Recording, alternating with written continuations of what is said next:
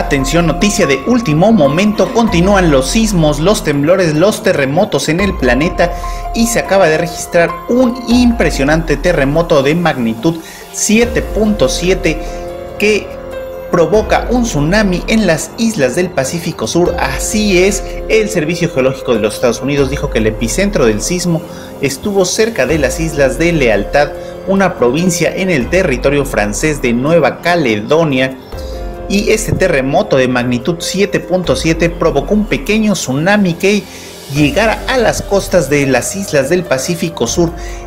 El día de hoy no se han reportado daños y la amenaza pasó tan solo en un par de horas. Olas de más de dos pies que se vieron por encima del nivel de la marea frente a la costa en la ciudad de Lenaquel, una ciudad portuaria en Vanuatu, Dijo el Centro de Alerta de Tsunami del Pacífico, las olas más pequeñas se midieron con medidores costeros frente a Nueva Zelanda y la Oficina Nacional de Gestión de Desastres de Vanuatu aconsejó a las personas que estuvieran alertas y que evacuaran estas zonas costeras hacia terrenos más altos por el peligro y se encuentran en atención debido a que se puede generar una réplica y ya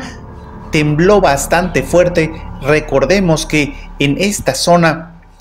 es una zona sísmica y pese de que el peligro de tsunami pasó en un par de horas, los pequeños cambios en el nivel del mar pueden continuar. Esta área se encuentra al suroeste de las islas Fiji, al norte de Nueva Zelanda y al este de Australia, donde el mar de coral se encuentra con el Pacífico